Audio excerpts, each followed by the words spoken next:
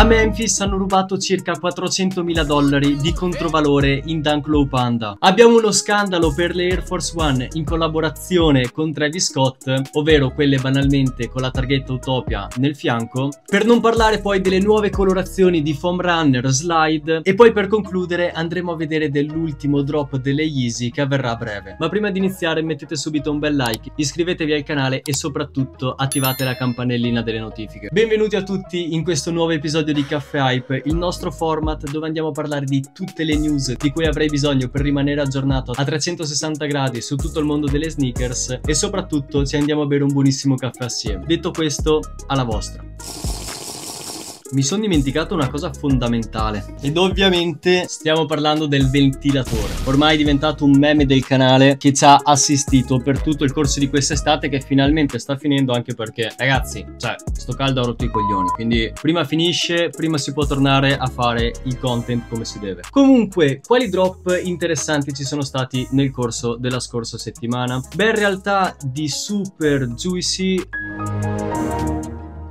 Abbiamo avuto alcune scarpe interessanti. Ad inizio settimana c'è stato l'estrazione, vabbè, delle slide e delle foam uscite la settimana precedente, per poi passare in realtà alle Dunk Low Mocha che ho qua, ma in realtà ve le ho già fatte vedere su Instagram, quindi se non mi seguite, gravissimo, proprio. Vi lascio il link nella scheda in alto a destra per seguirmi perché stiamo arrivando ai 10.000 follower, quindi datemi una mano, spingetemi ancora un secondo, che poi abbiamo raggiunto un traguardo super importante e che sicuramente sicuramente verrà festeggiato. Però, tornando a noi, le mocha, devo dire che non sono assolutamente male, sicuramente la colorway, tanta tanta roba, ma da quando Travis Scott ha lanciato la prima Jordan 1, l'hype per questa colorazione è assolutamente esploso e di conseguenza questa è una scarpa molto molto interessante. Ecco, l'unica cosa forse avrei cambiato i lacci e li avrei messi in una colorazione più sale. Sono già sporche e schifose, ma perché le ho utilizzate un paio di volte e di conseguenza una scarpa che vi consiglio tantissimo di coppare sicuramente. Sono andate sold out le taglie solamente su Nike dal 41 fino al 44,5 proprio perché è stata una versione da donna e di conseguenza non sono uscite taglie superiori, però not bad. Il 16 invece c'è stato un altro drop dello Yeezy Day, sono uscite le slide ed anche una colorazione di foam runner e una scarpa super interessante sono le wave runner. C'è stata una piccola raffle durata un'ora nell'applicazione Conformed di Adidas ovviamente. Lo stock è stato super limitato e credo che questa sia stata l'ultima volta appunto che Yeezy ci ha dato la possibilità di puntarle. Fatemi sapere nei commenti se le avete provate o no. Alcuni ragazzi della mia community Discord ho visto che sono riusciti a copparle, quindi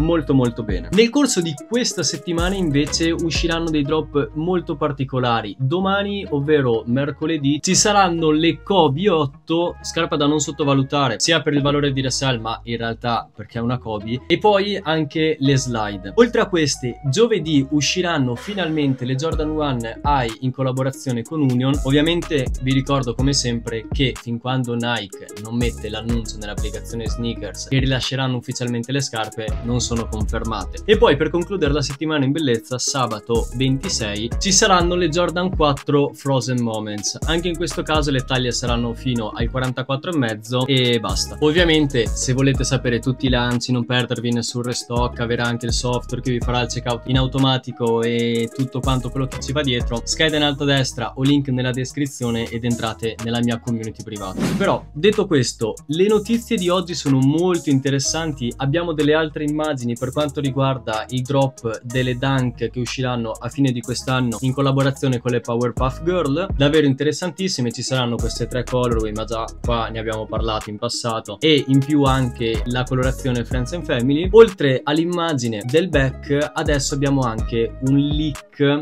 del fianco. Molto interessante sicuramente anche in questo caso. I materiali saranno molto molto buoni non vedo l'ora che escano comunque è una colorway molto interessante un po' pacchiana però assolutamente ci sta. Abbiamo anche un'altra colorazione delle Air Force One in collaborazione con Supreme che la data di release è sempre Holiday 2023 2023, di conseguenza a fine di quest'anno. Non penso che supereranno l'hype di quelle white, però dai, sarebbe interessante che Supreme facesse una collaborazione appunto con Nike e non sto parlando solo delle Dunk SB, però che dia una ventata d'aria fresca sicuramente. Questo ce n'è un gran bisogno, c'è poco da fare.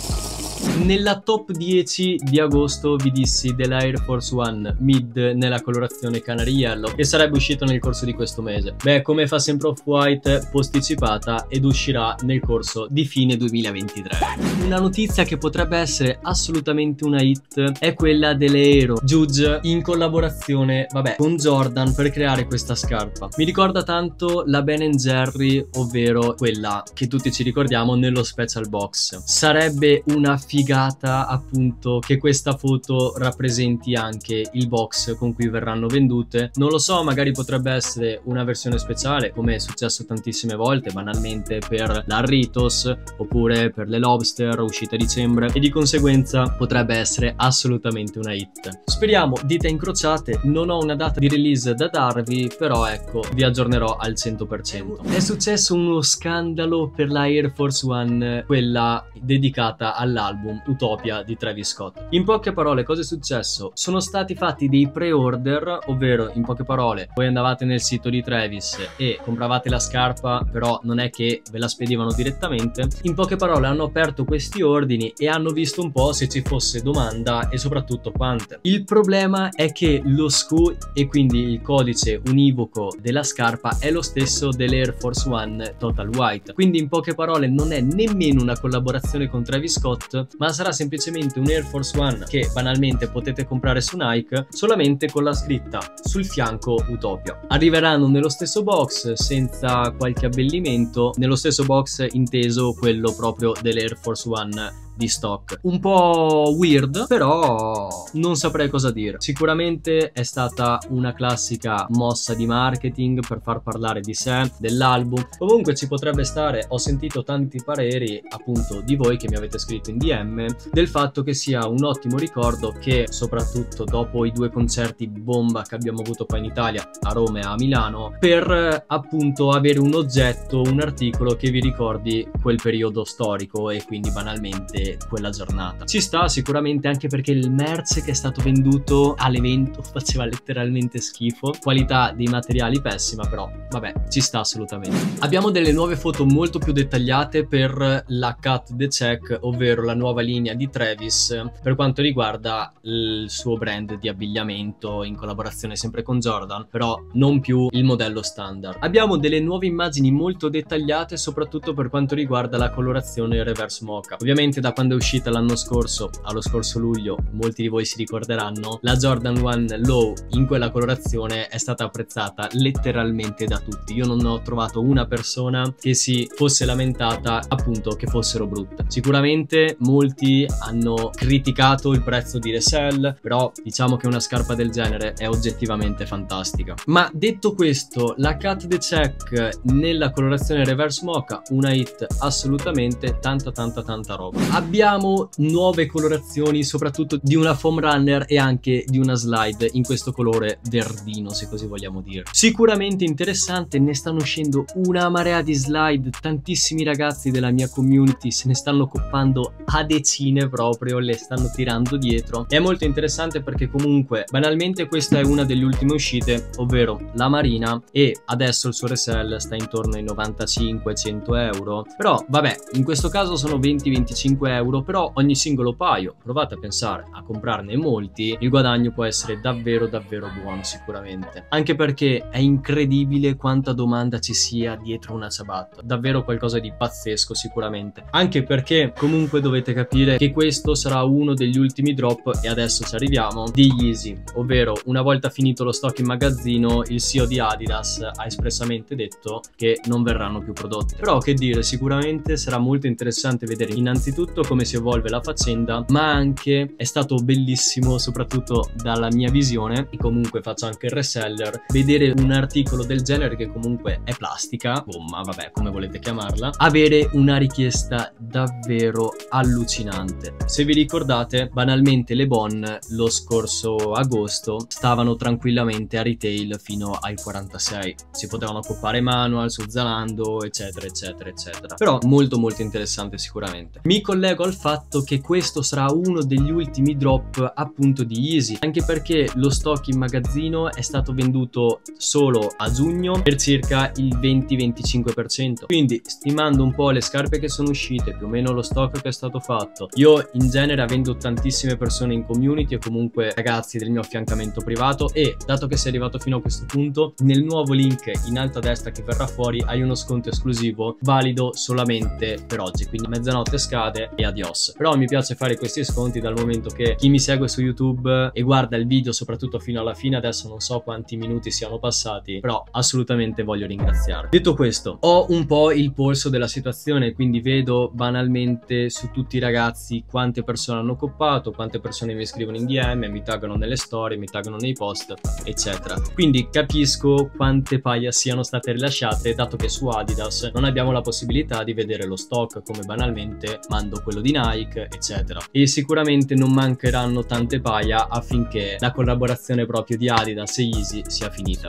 Ultima notizia ragazzi e poi ci salutiamo e ci vediamo in un video molto interessante nei prossimi giorni e poi vi ricordo seguitemi su Instagram stiamo arrivando ai 10k quindi se non l'avete ancora fatto fatelo assolutamente però pochi giorni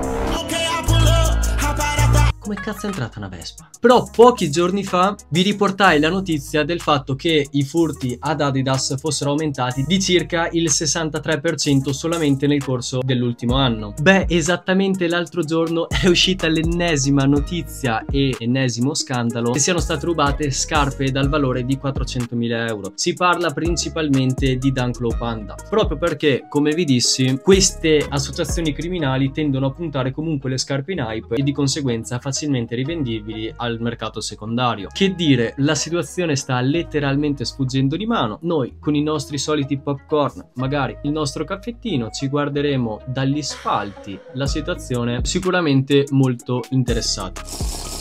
Ragazzi io vi ringrazio per aver visto questo video fino alla fine, vi ricordo di lasciarmi un like per aiutarmi con l'algoritmo di YouTube, iscrivetevi al canale e soprattutto fatemi sapere nei commenti cosa ne pensate di tutti questi furti a Nike che stanno letteralmente succedendo praticamente una volta al mese, tra il treno dirottato, della polizia di Los Angeles che ha ritrovato 7 milioni di scarpe vicino al porto in dei magazzini anonimi, sicuramente ce n'è di cui parlare. Detto questo, buona giornata a tutti.